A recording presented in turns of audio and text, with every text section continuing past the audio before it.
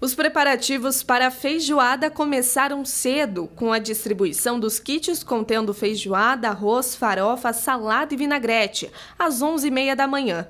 Este é o primeiro evento de feijoada de 2024 em benefício do Lar de Idosos São Francisco de Assis de Pato Branco, com a venda de 400 ingressos.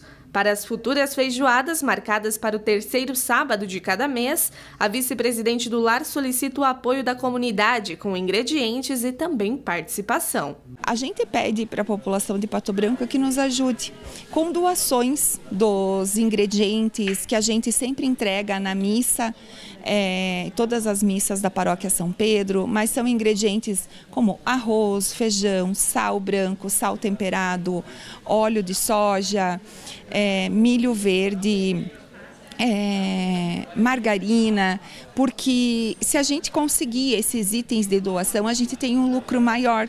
Além de aderirem à feijoada, se alimentarem bem, comerem bem, que graças a Deus todo mundo só elogios, é, ainda estão ajudando, né? Hoje nós estamos com 36 acolhidos no lar e o lar é sustentado por alguns projetos que a gente consegue, mas é, 90% é realmente da, da feijoada. Através da feijoada e de outros projetos realizados no lar, o objetivo principal é contratar novos funcionários para a instituição. E o nosso objetivo agora da, nossa, da nova diretoria é a gente ampliar o quadro de funcionários para o cuidado com eles.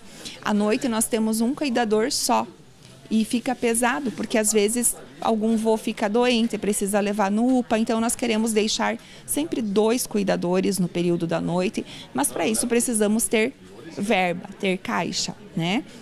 Então, nós estamos aí agora com o trabalho de psicólogo, de nutricionista, voluntários, graças a Deus, assistente social voluntário também, mas nós precisamos ter mais mão de obra efetiva aqui no lar. Além da doação de alimentos, uma das demandas do lar é justamente produtos de higiene e limpeza, e que fica o apelo para a comunidade estar ajudando com essa demanda. Quando o pessoal quiser trazer material de limpeza, a gente usa muita, muita, muita água sanitária. A gente usa mais ou menos 30 litros de água sanitária por semana. É, sabão em pó. Então, gente, o que vocês trouxerem será de muito bom proveito, de muito bom grato e muito bem utilizado.